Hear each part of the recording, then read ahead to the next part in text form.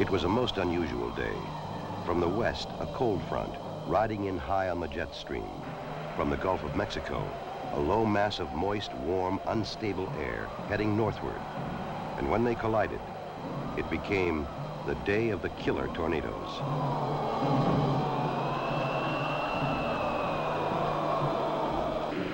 From early morning, the Weather Service warnings were out. From the Gulf to the Canadian border. Tornado warning. Tornadoes are hitting Tennessee, Georgia, Ohio, two in Illinois, two more in Indiana. Another sighted near Hardinsburg, Kentucky, heading toward Brandenburg, a sleepy little river town 25 miles southwest of Louisville. At the radio station, just west of town, announcer Bill Byrne receives a telephone call telling of its coming.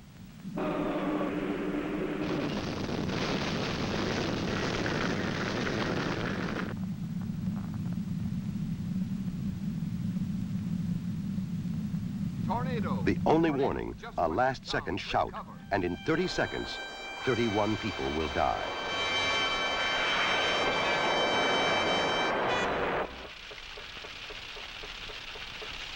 In Louisville, upriver, an alarm sounds in the newsroom at WHAS, the local emergency broadcast station. The severe thunderstorm warning has been changed to a tornado warning for Metro Louisville, Jefferson County, including Meade, Fire department. Bullitt counties, and the southern Indiana counties. We have a tornado reported on the ground in the Brandenburg vicinity, and it's headed toward Louisville. We think the siren should be activated at the present time.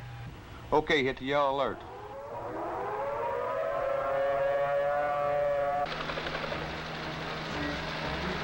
Okay, Dick, uh, what can you see at this point?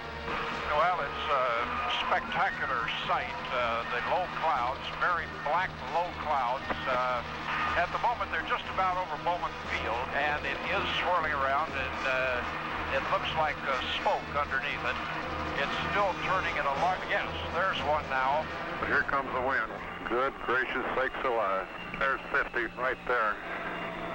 By golly, the whole thing's going, here I'm going, good. The huge funnel touches down at the state fairgrounds south of the city, then heads direct for downtown.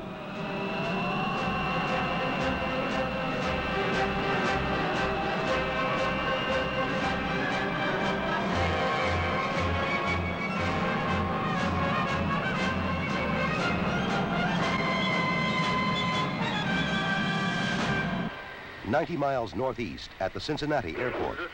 This is Cincinnati weather. Hamilton County Radio. Go ahead with your traffic.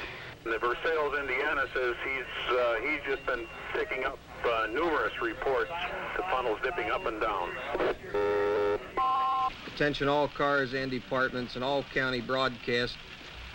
Macaron, Cincinnati, Hamilton County Civil Defense. The National Warning System alerts Leora Macaron, the county civil defense director. Civil Defense to Weather Service. What is the location of the tornado? 13 miles southwest of Greater Cincinnati Airport, moving toward the northeast 50 miles per hour. Okay, I'm going to sound the sirens. Is this a test? What's the matter with the sirens? Are they stuck? What do we have to do to get these damn sirens turned off? This is not a test. At WCKY, the local emergency broadcast station. The National Weather Service says it has sighted a tornado near the Greater Cincinnati Airport. Here is the National Weather Service with the latest report. It is a funnel cloud. It looks to be about 200 feet off. No, now it is touching the ground. What is it doing now? Heading directly toward Hamilton County. Quickly, the Emergency Operating Center is manned by Civil Defense and members of the Hamilton County Disaster Council. Unit with emergency, go ahead. We have responded a tornado. It's in Green Township. It is really big. A huge funnel rips across the Ohio River, passes just west of Cincinnati, roars on through Hamilton County. Advise it just passed LJ. Wolfleet headed northeast towards 275. Wolfleet and Creek, a house exploded. 460. Creek and Plainfield is a shambles. 962, go ahead. This whole neighborhood, uh, Hutchison Road, has been wiped out. Houses leveled, wires, poles, and uh, towers down. You better send everything you can get over here. Everything we got's rolling, 962. The Hamilton County, Elmwood Police Chief. This is a disaster area. Disaster area. Revive Cincinnati and we need help. They also have the same problem, Elmwood. We're trying to see what we can do for you. Civil defense, civil defense. The city of Elmwood is requesting all possible assistance that can be rendered. They have advised that their city is now a disaster. Lincoln Heights, were you clear on sending your fire and life squad companies to Elmwood? We're going to have to check uh, fire departments on the scene. It's where it hit the last time. Okay, 452. I Understand fire units on the scene. The storm front keeps marching north toward Dayton and the smaller city of Xenia, a dozen miles to the east. Jim, could you take care of this, please? In the National Weather Service office at Dayton Airport. Hey, could you broadcast this in a hurry? Tornado warning is in effect for Montgomery and Greene counties until 5 p.m. this evening. Radar report indicates a possible tornado sighted 25 miles northeast of Cincinnati, be moving to the northeast at approximately 50 miles an hour. In the newsroom at station WHIO, weatherman Gil Whitney is watching his radar. This is what I think it is. We better do something about it, Skip. Cameras to the studio. Cameras to the studio. Prepare for weather set. Prepare weather set. Here's a weather bulletin from WHIO's Insta Weather Radar station. Insta Weather Radar now shows a tornado developing in northeastern Warren County. At 50 miles, the tornado is indicated by that strong echo to the southeast corner of the center of the screen. That familiar six hook now developing off the bottom of that tornado, uh, that uh, thunderstorm rather. The track apparently is taking it from northeastern Warren County into southeastern Montgomery County into central Greene County. At Miami Valley Disaster Services in Dayton, the director, Dick Burrows, picks up the message. Centerville Police Department, Mrs. Link. Uh, this is Burroughs. Do you have a funnel sighted? Right out our, our window. Is it touching the ground? It has not touched down now. Oh, dear. I, it's just right there, right out our window. Right outside your window. God, yes. The storm is severe, a massive storm. The track indicated by the hook in our radar screen is now moving into the city of Xenia. Persons in the city of Xenia and along the track just south of it, Arrowhead, Xenia, Central State, should take cover immediately. Not many in Xenia hear his warning. One who doesn't is the engineer on a fast freight just pulling into Xenia Junction. We got one now and it's going down. The tornado hits Arrowhead Flat, a subdivision just south of Xenia, then goes ripping and roaring toward the heart of the city.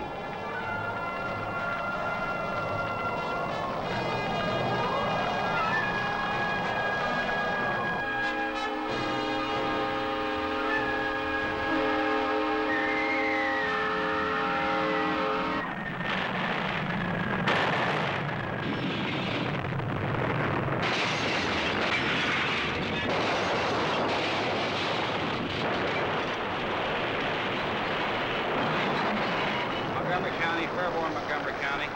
Yes, sir. Go ahead, Fairborn. Xenia has just been hit by a tornado, and the place is torn to pieces. They're asking for fire equipment, police equipment, and ambulances. Both City Hall and County Courthouse are wrecked, and there is no emergency operating center equipped to deal with this kind of crisis. Bob Stewart and his staff find an undamaged office in the Greene County Jail and go to work by flashlight. See if you can get with the Red Cross people about what kind of sources of water and food they're going to have. Okay, I'll get in touch with Civil Defense and the Red Cross. I'm Colonel Horton from Wright Pat. Colonel, good to see you. Uh, I'm here with a convoy of heavy equipment and about 120 men. Where do you want it? The biggest thing I want to get on right now is down on West Main Street, Bob. I got four railroad cars across the street down there. I'd like to get that opened up as soon as we can. Nearly half of Xenia lies in ruins, but darkness hides the damage. And rescue workers are moving through the night, searching for injured and bodies. At nightfall, a new wave of tornadoes starts sweeping the south.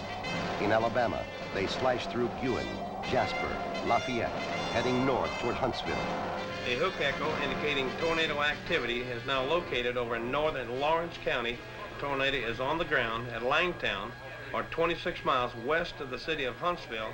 In Huntsville, Civil Defense Director Harris Mitchell already has the Emergency Operating Center on alert. Give it to Philip and have him plot it on, on the map. Mr. Wiseman, let... Here we are. Put the warning out again.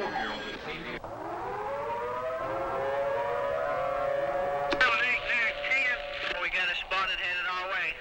This thing is probably up above Harvey's. Now you can see it when the clouds flash. It is down. The injured begin pouring into Huntsville Hospital. We need some help up here. We've had four different tornadoes to hit us, and there's another one on the way. Can you send us up some blood by highway patrol? At 1050, an enormous new tunnel. Plane. It's coming just about straight in toward the parkway now. The tornado keeps coming through the heart of town, directly toward Huntsville Hospital.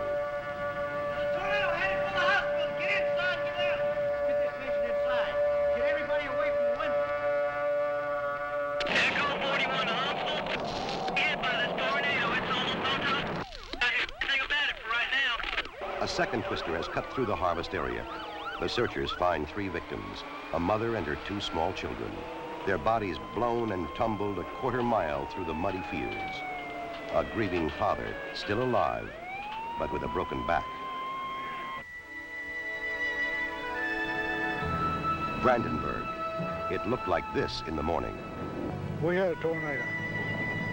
That's, that would be the understatement of the year. Oh my goodness, it just popped and cracked. It's like a hundred thousand tons of bomb. Xenia, miles of sheer destruction. I was in the Battle of St. Lo and the Battle of the Bulge in World War II, and I never saw anything like this. So we've found parts of the bodies here. I've, we've found parts of all the bodies, but we've, we've got to go back and hunt for some more. It was just a big roar, and I, I don't know. It was just terrible. It sounded like a big train whistle, and we were right underneath the front of it. I've, I've never seen anything like it, and I don't want to again. This is what tornado winds can do. In less than 24 hours, they counted 147 tornadoes, and the damage is enormous. All in all, more than $600 million. Homes, businesses, stores, thousands of unsafe buildings to be searched, shuttered, marked off limits, and disaster for the people who owned them. What can you do? We've lost everything that we had. Help will be needed. The president's declared 10 states to be major disaster areas, eligible for federal assistance in all its many forms. One-stop disaster centers are set up to handle home, farm, and small business loans, food stamps, shelter, trailers, and other temporary housing. And help is coming from every direction. Red Cross, Salvation Army, all the military services, Corps of Engineers, the National Guard, to clean up and restore essential services. Rescue squads from hundreds of miles away, volunteers of every kind. What a mess. A mess. Well, it'll all work out, I guess. It's just too bad. There's an awful loss here. My, these people, I feel so sorry for them. April 3rd, 1974, the day of the killer tornadoes. They killed 307 people in 11 states. In Brandenburg, with no sirens, no weather wire, 31 dead. In Xenia, 33. In Louisville, Cincinnati, Huntsville, the story was different. They had warning, planning, emergency operating centers. And Hamilton County around Cincinnati lost only four lives. Louisville, three. Huntsville, none at all. Was it just luck, coincidence?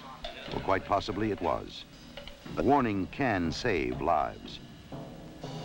And the people who lived through it will never forget. I, I just hope to God next time somebody listens when there's a tornado warning out. I know there will around here.